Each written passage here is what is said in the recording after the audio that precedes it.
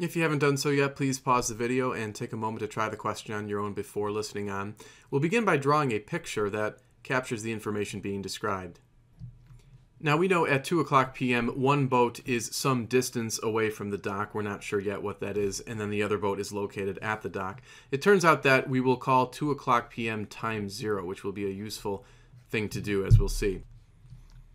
Now at 3 o'clock p.m., which is of course one hour later, we can see the boats have moved. The boat that originally was to the west of the dock has now moved all the way to the dock, and then the other boat has moved south away from the dock. And so that would be at time equals 1. Now, we recall from perhaps a physics course or even another math course that the distance that an object travels is equal to its speed multiplied by its time.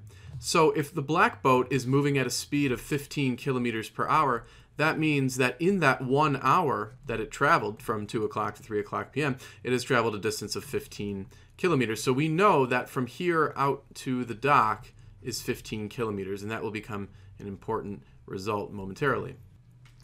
Now, it turns out that sometime between 2 o'clock and 3 o'clock p.m., the boats are at a minimum distance from each other. We don't know that time yet. In fact, that's what we're trying to find. Now, given that the red colored boat was moving at 20 kilometers per hour, we can see, if we plug in 20 for a speed and just t for time, that the distance it has traveled in this unknown time would be 20t. Similarly, the black boat, which remember started out here, has traveled a distance of 15t. Now, it'll be useful actually to come up with the distance from here to the dock, and hopefully from the diagram we can see that that's going to be the 15 kilometers that it overall travels minus the 15t that it has traveled thus far.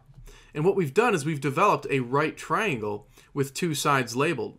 And our goal is to minimize the distance between the boats. Maybe we could call that distance c. Now, of course, because it is a right triangle, the Pythagorean theorem would be obeyed. So we know that c squared would be equal to one of the sides of the triangle squared plus the other side of the triangle squared. Now, we technically don't want to minimize c squared, and some students might be tempted to solve this for c by square rooting both sides. The problem with that is that when it comes time to taking the derivative, it'll be a little bit messier to kind of calculate the derivative of the right side of the equation when it's in this form. So it's actually easier, it's a bit of a shortcut, to leave the equation in terms of c squared and just try to find the minimum value of c squared as opposed to c.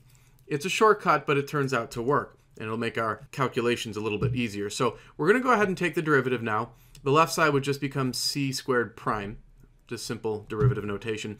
Right side, we're going to have to use a chain rule. So we'll pull the 2 down, we'll recopy the inside of the parentheses, we'll subtract 1 from the exponent to make this to the first power, and then we have to multiply by the derivative of the inside, which is negative 15.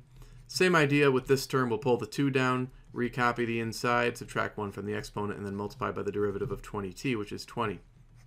We could then simplify this to give us negative 450 plus 1,250t. If you have any questions about how that's simplified, please let me know in the comments. After finding the derivative, what we do in optimization problems is we set the derivative equal to 0, and we solve for our variable. And when we do that, we get time is equal to 9 25ths of an hour. Now this is a critical number. We don't yet know for sure that it has minimized the c squared. And so to confirm that it is indeed minimizing the c squared function, we need to do the second derivative test. So the second derivative would become c squared double prime, and then the second derivative would end up equaling 1250. Now we'll notice that that's positive, of course, and anytime we have a function with a positive second derivative, that means that it's concave up. So our critical number would be located on a concave up function, which indeed confirms that we have found a minimum of our function. So when time is equal to 9 25ths of an hour, we indeed have the minimum distance between the boats. Now 9 25ths of an hour, if we multiply that by 60, yields a value in terms of minutes of 21.6. Now remember that time zero was at 2 o'clock p.m. So we can say that 21.6 minutes after 2 p.m., the boats will be at a minimum distance apart.